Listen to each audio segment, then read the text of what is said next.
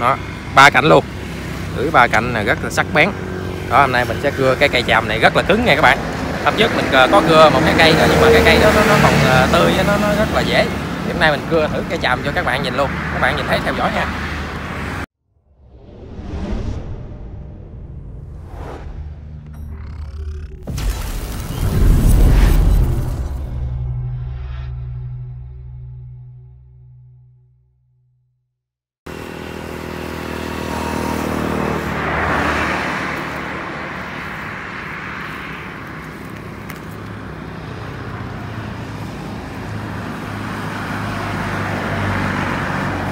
Chào anh em.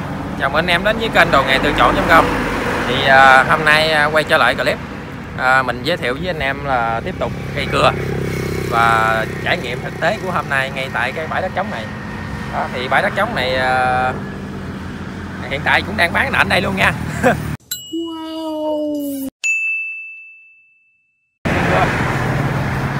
Đây cây cưa hãng Tunsen ha cây cưa nè. Đây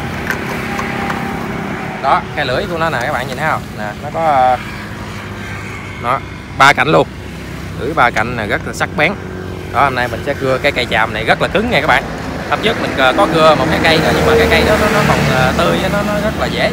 Thì hôm nay mình cưa thử cây chàm cho các bạn nhìn luôn. Các bạn nhìn thấy theo dõi nha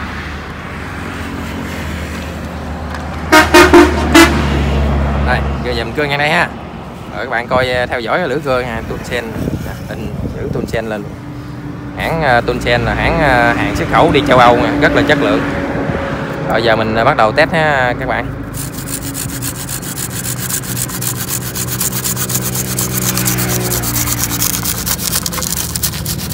Đó như các bạn thấy không? Thấy trong một nó nhạt nè cái đường cắt nó rất là sắc bén luôn nè thấy không? Đó. Nó cán cầm đường này kia các bạn nhìn thấy cán nhựa nhựa cứng nha rất là chắc tay. À, ở dưới này nó có mấy cái cầm. Đó, không có bị uh, vuột tay. Đó. thì uh, mình uh, đã review xong cái phần cây cưa. Thì cây cưa này uh, các bạn có thể mua với cái mã số là 31016 giá 132.600 đồng. Đó, thì uh, các bạn mua hàng thì đến uh, địa chỉ mặt tiền đường Trần Hoàng Na tại Cần Thơ các bạn ờ, vào clip sau nha tạm biệt.